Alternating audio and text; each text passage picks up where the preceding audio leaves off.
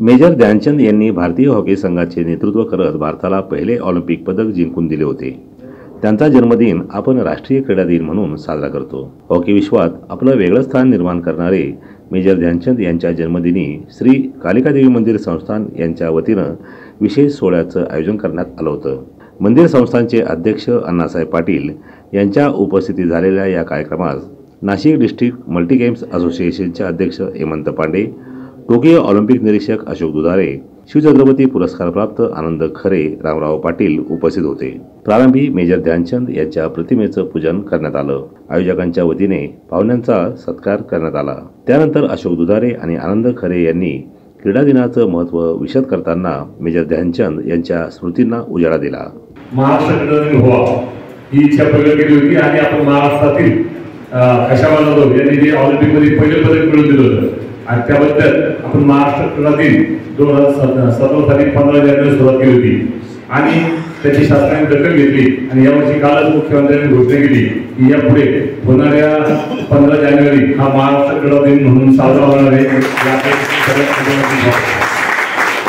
याशिवाय आपला राष्ट्रीय खेळाडू छत्रपती पुरस्कार विजेता अक्षय देशमुख त्याचं नुकतंच मागे निधन झालं. त्याच्या श्रद्धांजली सभेत नाशिक जिल्हा तळवडी समितीचे अध्यक्ष दत्ता पाटील यांनी घोषित केलं होतं की राष्ट्रीय क्रीडा दिनानिमित्त दरवर्षी अक्षय देशमुखच्या नावाने आपण पुरस्कार देणार आहोत. यावर्षी आपण पहिला पुरस्कार पहिल्या वर्षी सुरुवात करत असून तो नमन गंगवार हा जम्पमध्ये जागतिक स्पर्धेमध्ये चार पदके मिळवलेली त्याला आपण तो पुरस्कार देणार आहोत. आणि हा कार्यक्रम आपण सातत्याने अनेक वर्षापासून करत असतो. आणि या वेळेला युवा क्रीडा शिक्षक जे आहेत युवा प्रशिक्षक आहेत त्यांना प्रोत्साहन मिळावं. या उद्देशाने या कार्यक्रमाचं आयोजन केलेलं आहे. पारतंत्र्याच्या काळात देखील त्यांनी भारताबद्दल जी काही आत्मीयता होती ती त्यांनी त्यावेळेस देखील दाखवून दिलेली आहे. कारण एकोणीसशे छत्तीसचं जे ऑलिम्पिक होतं त्याचा अंतिम सामना हा जर्मनीशी झाला होता. आणि जर्मनीमध्ये हिटलरशाही होती आपल्या सगळ्यांना माहीत आहे. आणि हिटलर ज्यावेळेस भारत संघ जिंकला त्याच्यानंतर हिटलरनी मेजर ध्यानचंद यांना ऑफर दिली होती की तुम्हाला आमच्या देशाकडून तुम्ही खेळा जे काही तुमचं पैसे असतील किंवा तुम्हाला काही नोकरी जी आम्ही देणार आहोत ती नोकरी असेल ती भारतापेक्षा जास्त पैसे पण आम्ही तुम्हाला देऊ आणि नोकरी पण तुम्हाला इथे मिळेल. परंतु त्यांनी सन्मानाने ही त्यांची ऑफर रिफ्यूज केली. कारण त्यांना भारतातर्फे भारतासाठी खेळायचं होतं. श्री कालिकादेवी मंदिर संस्थांतर्फे विविध उपक्रम राबविण्यात येत असतात. क्रीडा विश्वाचे संदर्भ बदलत चालले असून भावी पिढीला करिअर करण्याची नामी संधी उपलब्ध असल्याचं मत हेमंत पांडे यांनी व्यक्त केलं. पण याच्या विरोधात आपण जेव्हा खेळायला जातो किंवा आपण जेव्हा मुलं तयार करतो तर आपला प्रतिस्पर्धी कोण असेल कसा असेल याची निश्चितता काही नसते. म्हणजे आपण सगळ्यात जास्त अनिश्चित गोष्टीसाठी आपण तयारी करतो.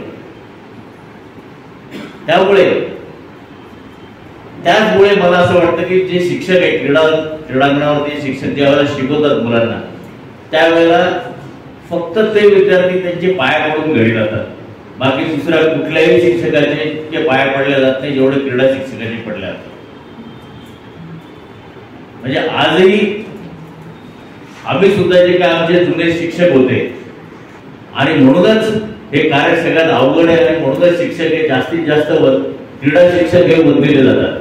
कुठल्याही शाळा कॉलेजेसमध्ये काही प्रॉब्लेम झाला किंवा काही मुलं सगळे एकत्र येऊन काही उद्रेक करायला लागले तर त्या प्रिन्सिपल क्रीडा शिक्षकाला बोलवतो. आणि सांगतो ही सिच्युएशन तुम्ही हाताळा. आणि क्रीडा शिक्षकच ती हाताळू शकतो. त्यामुळे असं महान क्षेत्र तुम्ही निवडलेलं आहात. त्याबद्दल तुमच्या सगळ्यांचं अभिनंदन आणि आज जे तुम्ही इथे गौरवासाठी आलेले आहात त्याबद्दल देखील तुमचं अभिनंदन. श्री कालिकादेवी मंदिर संस्थांतर्फे विविध उपक्रम राबविण्यात येत असतात. धार्मिकता जपताना संस्थांनी सामाजिक वसा जपला असल्याचं मत अण्णासाहेब पाटील यांनी व्यक्त केलं. कालिका मंदिर नुसतंच नुसतं देवधर्म बळी पंचमात्री काही काम नाही करत. हे अनेक उपक्रम इथं वर्षभर चालू असतात. आता पाच सप्टेंबरला शिक्षक दिन आहे. शिक्षक दिन हा मोठा कार्यक्रम इथं होतो. म्हणजे शिक्षक दिन आहे पत्रकार दिन आहे. हे सगळे ज्या ज्या क्षेत्रामध्ये चांगलं काम करणारे आहे नवदुर्गा आपण नवरात्रीत निमित्ताने जेव्हा नवदुर्गा आठ मार्चला जो महिला दिन असतो त्या महिला दिनाचे औचित्य साधून आपण महिलांना विशेष चांगलं प्रावीण्य कमावणाऱ्या करणाऱ्या महिला यांचा आपण सत्कार करत असतो. या प्रसंगी क्रीडा मार्गदर्शक क्रीडा शिक्षक आणि प्रशिक्षक यांचा उचित सन्मान करण्यात आला. त्यांचे खेळाडू राज्य म्हणजे गोविंद भीमराव साळवे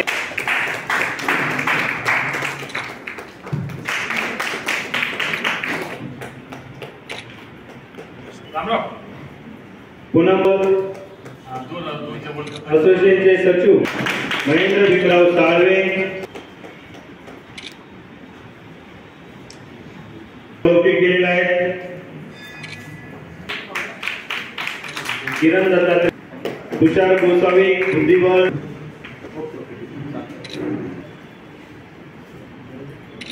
स्तरावरती नाशिक जिल्ह्याचे प्रतिनिधित्व करत सेनभक्त कॅरम. नेटबॉल जम्परो अशा सर्वात जास्त ऋषिकेश विष्णू रसाळ क्रिकेट अशा विविध खेळांचे पदक प्राप्त आहेत. त्यांचे खेळाडू राज्य राष्ट्रीय पातळीवरती भूतानीचे झालेल्या नेपाळीचे झालेल्या सीता भंडारी फुटबॉल ॲथलेटिक्स समारंभास मराठा महासंघाचे जिल्हाध्यक्ष अशोक कदम मराठा महासंघाच्या क्रीडा विभागाचे अध्यक्ष दीपक पाटील शिवछत्रपती पुरस्कारप्राप्त राजू शिंदे नितीन हिंगमिरे शशांक वजे अविनाश ढोली अविनाश वाघ ऋषिकेश रसाळ मनीषा काठे अमोल आहेर जय शर्मा यांच्यासह क्रीडाप्रेमी उपस्थित होते. मनोहर गायकवाड दिशानुज नाशिक.